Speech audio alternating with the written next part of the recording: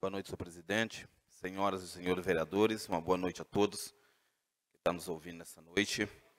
É, o motivo de eu estar hoje aqui nessa tribuna é durante o, a campanha que a gente vai né, fazendo nas ruas, a gente vai recebendo alguns pedidos dos munícipes. Né? E o mais pedido que a gente tem é sobre velocidade, né?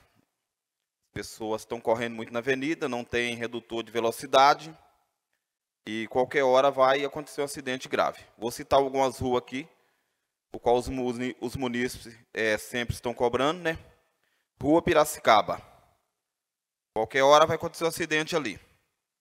É, Avenida Vereador Alcides, bairro Jardim Branil, que liga o Pinhalzinho lá, a ponte lá.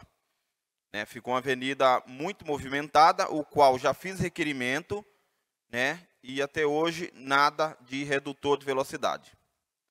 É, avenida também que liga a ponte do Castelane, as pessoas estão andando em alta velocidade ali, qualquer hora vai acontecer um acidente também. Né? É, Avenida Josefine, ontem eu presenciei quase um acidente lá, eu mesmo, no caso. Estava conversando com munícipes na, na, na calçada, a negada passa podando ali, mas moendo. Não tem redutor de velocidade. Também. É... Avenida Itália também. Hoje eu estava lá perto do Mercado Gozo. Cara passando moendo, né? Vou pedir para a Laissa, fazendo um favor, fazer para mim um requerimento, Laissa.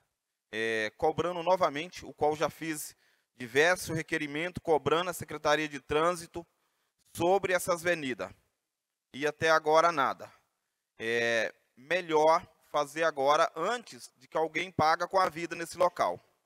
Tá bom? Uma boa noite a todos.